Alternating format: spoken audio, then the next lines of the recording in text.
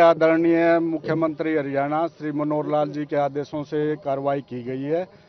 ये ढाई एकड़ में ये इंक्रोचमेंट था और इसमें सारी ये जो भी स्ट्रक्चर थी 45 इसमें पक्की स्ट्रक्चर थी और 15 कच्ची स्ट्रक्चर थी। और ये सारी अवैध निर्माण था और ये जो अभी दंगे हुए हैं, उनमें भी इनकी संलिप्तता पाई गई है। इसलिए मनोहर लाल जी के आदेश से हमने, प्रशासन ने इन पे कार्रवाई करते हुए इनको जमींदोज कर दिया। इनमें से कुछ लोग दंगों से जुड़े हुए थे, बाकी ये निर्माण सारा अवैध निर्माण था ये, और इसको बाद में भी बहुत दिक्कतें होती थी। यहाँ से सड़क पे भी इंक्रोचमेंट आ गया था तो इसको हटाना बहुत ज़रूरी था।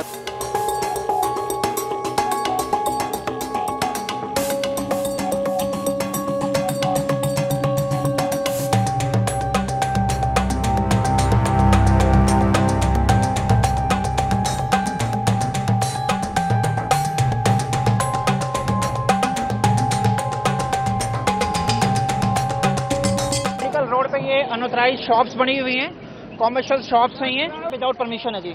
लगभग जो है 45 से ज़्यादा दुकानें बनाई हुई हैं ये। और सर सारे अवैध हैं।